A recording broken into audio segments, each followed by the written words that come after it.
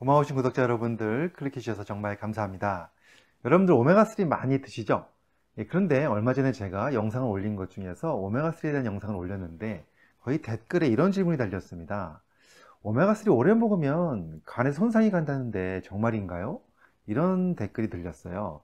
저는 그걸 보고서 사실 그런 이야기를 제가 별로 들어본 적이 없어서 어, 이런 이야기를 어디서 들으셨나 하고 댓글을 자세하게 읽어봤더니 그냥 무시할 수가 없는 댓글이었습니다. 본인이 그 이야기를 어떤 의사 선생님이 하는 강의에서 들었다는 얘기를 하시더라고요. 그래서 제가 어, 다른 의사 선생님 강의에서 오메가3를 오래 먹었을 때 간에 손상이 된다는 이야기 들었다면 혹시 내가 모르는 것이 있는 것이 아닌가 확인하기 위해서 한번 검색을 해보기 시작했습니다.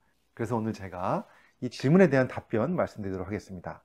궁금하시다면 끝까지 봐주시고요. 도움이 되셨다면 좋아요, 구독, 알림 설정 해주시면 감사하겠습니다.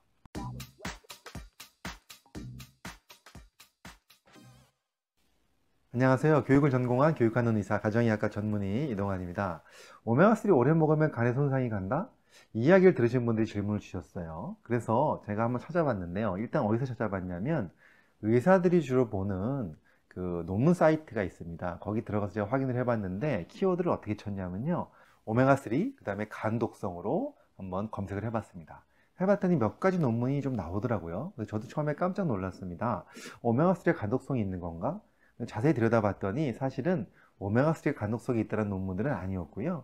반대로 다른 약물에 의한 간독성을 막아줄 수 있다는 논문이더라고요.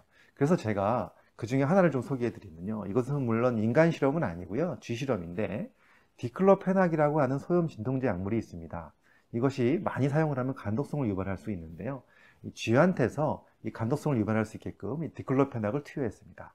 그런데 세 그룹으로 나눠서요. 첫 번째 그룹은 그냥 투여했고요. 두 번째 그룹은 오메가3를 저용량으로 주면서 투여했고요. 세 번째 그룹은 오메가3를 고용량으로 주면서 투여했습니다. 결과를 보니까 오메가3를 투여하지 않은 그룹에서는 역시 간독성이 많이 유발됐고요. 오메가3를 저용량과 고용량으로 투여한 그룹에서는 간독성이 줄어들었습니다. 그런데 이 두 그룹 중에서도요, 희한하게 저용량으로 투여한 그룹이 오히려 더 도움이 됐다는 연구가 바로 이 연구입니다. 그 다음에 또 제가 좀 찾아보기 위해서 오메가3와 그 다음에 liver disease, 간 질환이죠. 이런 식으로 검색을 해봤습니다. 해봤더니 굉장히 많은 논문들이 나오더라고요. 그 중에 제가 몇 가지만 소개를 드리면요. 첫 번째 이 논문은요. 오메가3가 알코올성 간 질환 치료에 도움이 될 것인가 라고 하는 이러한 주제를 가지고 리뷰 논문을 쓴 겁니다. 이 결론을 보면 사실 결론이 딱 나오진 않습니다. 하지만 오메가3가 알코올성 간 질환에 도움이 됐다는 연구들도 많이 실려 있고 또 별로 도움이 안 됐다는 연구들도 있다는 얘기입니다. 그래서 이런 것들을 볼 때 이런 연구들이 혼재해 있기 때문에 사실 도움이 된다고 결론을 내리지 못하고 있지만 이 연구들을 보면서 뭘 느꼈냐면 도움이 되지 않다 또는 도움이 된다 여기에 대한 논란은 있지만 오히려 간을 나쁘게 했다는 얘기는 없다라는 거죠. 그래서 별로 어, 아까 얘기했던 간독성에 대한 문제는 별로 걱정 안 하셔도 되지 않나 생각이 들고요. 그 다음에 또 다른 논문 하나 보시면요. 이것은 사람에게서 오메가3가 그 비알코올성 지방간, 그러니까 술 먹지 않아도 지방간이 생기는 분들이 있잖아요. 뭐 중성지방 수치가 너무 높다거나 이런 분들 치료에 도움이 되었는지 여기에 대한 연구들을 모아서 정리한 논문이 있었습니다. 보면 17개 정도의 관련 연구들을 쭉 검토해 본 결과 그 중에서 13개의 논문에서 오메가3가 비알코올성 지방간 치료에 도움이 됐다라고 알려져 있고요. 그 다음에 오메가3 종류 중에서도 EPA보다는 DHA가 더 효과가 있었다라는 얘기들을 하고 있습니다. 결론적으로 보면요. 오메가3가 간독성이 있다는 얘기는 저희가 믿을, 믿기가 좀 어려운 얘기가 됐고요. 그 다음에 오히려 간에 도움이 되는 여러 가지 그런 기전들을 가지고 있다는 얘기를 보여주고 있습니다.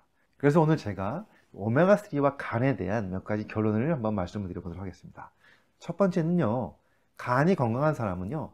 오메가3 때문에 간이 나빠지는 것은 아니다. 어, 그런 말씀을 드리고요. 그 다음에 두 번째는요.